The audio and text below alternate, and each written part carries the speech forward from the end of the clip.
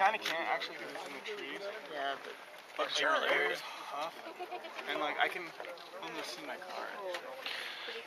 Esa roca es donde hay. Se han fotografiado gente sentada, ¿sabes? En el vacío, sí.